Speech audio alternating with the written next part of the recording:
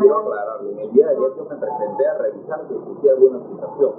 Las citaciones eran anteriores a la fecha a, eh, a lugares donde no vive el señor César Segura. El abogado se presenta a fin de determinar si existe alguna citación.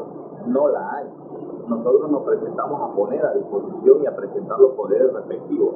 Ya el señor César Segura está representado dentro del proceso con poderes efectivamente y es inclusive eh, señalado que la próxima semana se va a presentar a la declaración indagatoria. El hecho de que eh, se haya señalado que se le sigue buscando no logro entender. El señor, ahorita no hay orden de conducción que nosotros hayamos podido ver dentro del expediente. No hay orden de conducción, no hay una orden nueva de citación. Quiero aclararlo, ¿sí? nosotros hemos puesto a disposición y la próxima semana eh, lo más seguro él va a rendir su declaración indagatoria.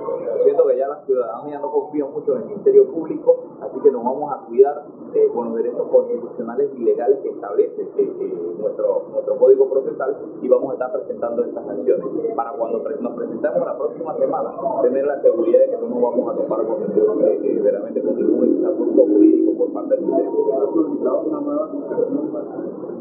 es que nosotros hemos puesto, hemos sido nosotros quienes nos presentamos a poner a disposición al señor César Segura. El señor César Segura no se está escondiendo, no está huyendo, ¿por qué? Porque si en el día de ayer yo hubiese visto dentro del expediente una citación para una fecha o una orden de conducción, el señor César Segura hoy hubiese estado acá, pero no la hemos visto dentro del expediente, a menos que no la tengan en el expediente y la estén manejando de otra forma. Pero dentro del expediente no existe. El señor César Segura no, está, no está huyendo y la próxima semana va a dar la cara en este proceso. Anteriormente, ¿qué vamos a presentar? Las acciones legales pertinentes. ¿Para qué? Para que se le respeten sus derechos constitucionales y legales. ¿Por qué? Porque eh, vemos que tiene el señalamiento de dos tipos penales.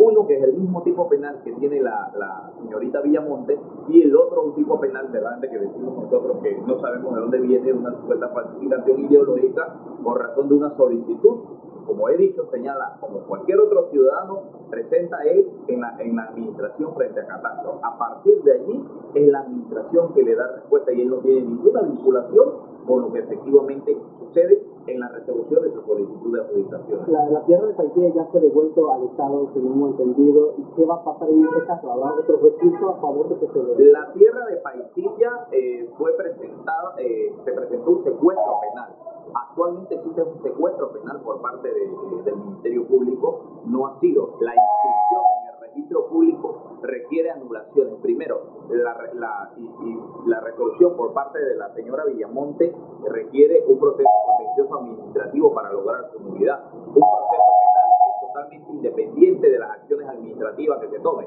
Y en el momento oportuno, el señor César Seguro, ese humilde ciudadano que presentó su solicitud, él ejercerá sus derechos respectivos.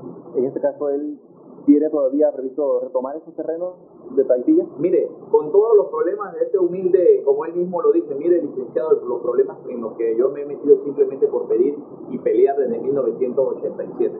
Si yo les enseñara aquí, hay vistas fotográficas, en el, en el expediente se trata de hacer ver de que allí no había nada en las vistas fotográficas, si podemos ver, nosotros vamos a poder determinar que, claro, el señor tenía allí, tenía un negocio, que era un local en donde inclusive él vivió con su esposa y sus hijas. ¿ah? Y, las, y las vistas fotográficas lo van a probar y lo van a demostrar. Se trata de hacer ver dentro del expediente que allí nunca existió nada y que simplemente él falsea información y esa documentación. Cuando hay documentos legales también que determinan un lanzamiento que se le hizo supuestamente en el año 2005, pero como todo panameño que lo sacan ilegalmente de un lugar, él retoma verdaderamente la posesión, ¿verdad? Y es por eso que cuando surge la ley de la NATI, él solicita, ahí hace la solicitud y simplemente se le, da la solicitud. Miren, esto es algo simple. El señor César Segura no estaba en la análisis ni en catastro para resolverse o falsificar documentación o simplemente decir usted tiene o no tiene la razón. Es la administración la que efectivamente el Estado el que le dice usted tiene un derecho y el que le concede un derecho. Posteriormente, hacia adelante, la gestión de ese derecho es otra cosa. Sin embargo, no existe delito. La tipificación de los delitos no está verdaderamente configurada en las conductas que él realiza. Vuelvo y les digo, no me gustaría pensar que al final va a ser la persona más humilde, la persona realmente que no tiene ningún tipo de interés, ¿ah? eh, en este caso quien vaya a resultar detenido por un caso que, bueno, que todos hemos visto que ha sido de gran trascendencia jurídica para este país. Había una, que, no coincide en el hecho de que en el tiempo que él ocupó la tierra y en el tiempo que fue años después. Desde 1987 César Segura está allí.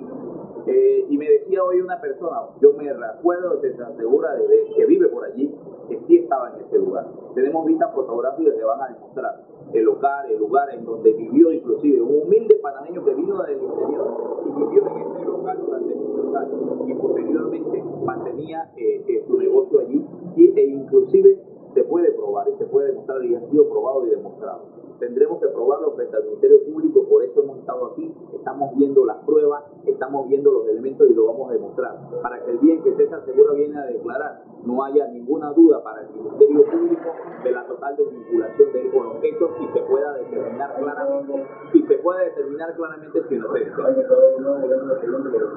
Bueno, no, no hemos podido tener acceso al último, al último eh, tomo, hemos revisado el tomo número uno, el tomo número dos, ayer sí pudimos verlo, pero hoy no. Eh, sin embargo, vamos a regresar en horas de la tarde. Luego de presentar las acciones en la Corte Suprema de Justicia y los jugadores respectivos, vamos a regresar a ver si podemos ver y a ver si en todo caso existe una orden de conducción, lo cual consideramos no debe ser toda vez que ya está representado y se asegura y ha dado la cara del proceso a través de su abogado. Existen los poderes respectivos y las solicitudes respectivas dentro del